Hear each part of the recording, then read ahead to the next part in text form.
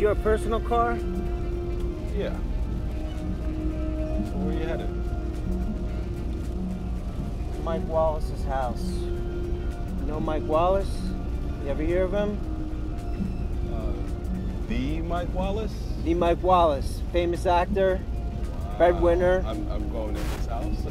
Yeah, you know, my wife loves Mike Wallace. Uh, has yeah, he's okay. He did some clunkers, but he was nominated for uh, the breadwinner for a Golden Globe, but the son of a bitch lost. I usually give him advice too on how to act. He listens to me. you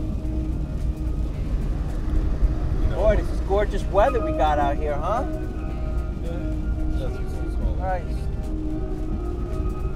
Think it'll clear up? Is it supposed to clear up, do you know?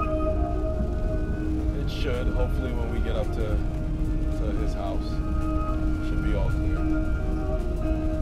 No, I meant to tell you, I, I don't, I'm, I don't have any cash on me. Oh, don't don't worry about that. It's all covered by Mr. Wallace. The tip too? Everything's covered. Son of a bitch. Huh. Mike's on the ball. You know, I used to have a flip phone. and He sent me this smartphone. I'm still trying to figure out how to use this thing. Tell you, Mikey and I, we go back in the day. You know that? You know, I uh, was his wingman. I helped him meet his first girlfriend. Yeah. Mikey. We used to get into a lot of trouble together. We used to smoke a lot of weed. Got a lot of, a lot of poon. You know what I'm saying? Mike Wallace.